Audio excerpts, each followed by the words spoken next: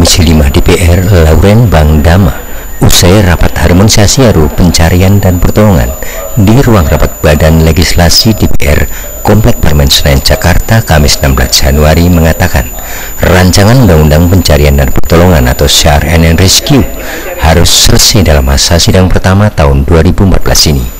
Pasalnya, menurut Lauren, sepanjang tahun 2013, Komisi 5 DPR belum satu pun menghasilkan rancangan undang-undang atau RUU yang terkait dengan kewenangannya. Ketua Komisi 5 DPR dari fraksi PAN ini menambahkan berbagai bencana alam yang terjadi pada awal 2014 ini menjadi inspirasi agar RUU SAR Rescue harus segera diselesaikan dan disahkan menjadi undang-undang dalam masa sidang pertama tahun 2014 ini. Komisi 5 DPR akan mendorong agar panitia kerja atau panja yang secara khusus membahas RUU ini hingga tuntas. Menurut Lawrence, RUU SAR and Rescue ini penting karena Basarnas akan dinaikkan statusnya menjadi lembaga setingkat menteri.